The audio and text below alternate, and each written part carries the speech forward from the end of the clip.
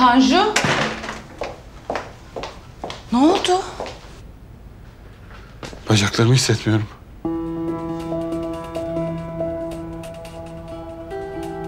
Tamam. Halledeceğiz. Ferman baktı mı? Test yapıyor. Tamam ben ne gerekiyorsa yaptırırım ama sen sakin ol. Ben senin için ne yapabilirim ne istersin? Vaktin varsa biraz kalsana. Tabii. Tabii. Ben geldim. Ay rahatsız etmeyeyim.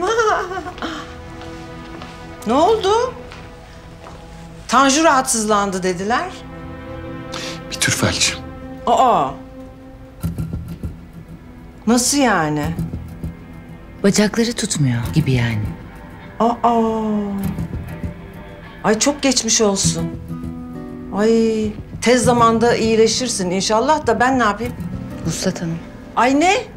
Aa, iki tane cerrahım var. Biri çolak, biri topal.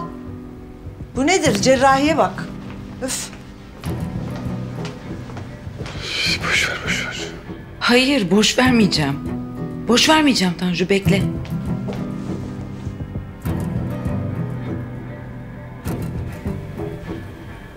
Vuslat Hanım. Bana sen diyebilirsin. izin veriyorum. O zaman bana bak Vuslat. Senin derdini dinledim. Seni anlamaya çalıştım ve sana bir şans verdim.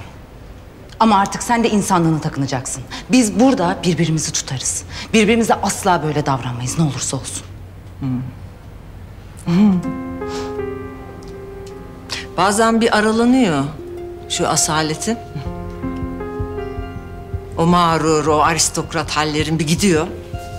İçinden böyle dişli, kuvvetli bir kadın çıkıyor ya. O zaman bayılıyorum ben sana. Ama ben sana hiç bayılmıyorum. Çok üzüldüm. Ay umurumda mı sanıyorsun? Bak, ben sana bu hastaneyi yükselteceğim dedim, yükselteceğim. Şimdi sen onun için hemen içeriye gidiyorsun.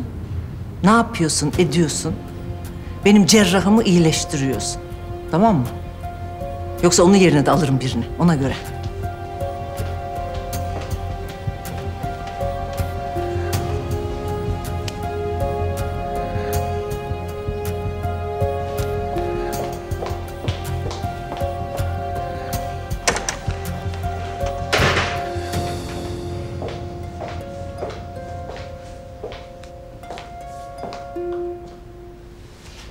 Ne diyor?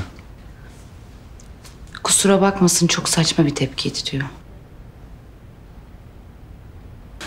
Severim senin o tatlı yalanını. Da hiç modumda değilim. Peki. Sen söyle o zaman doktor olan sensin. Kalıcı mı bu? Sebebini bulamadıktan sonra bunun bir cevabı yok. Her şey olabilir.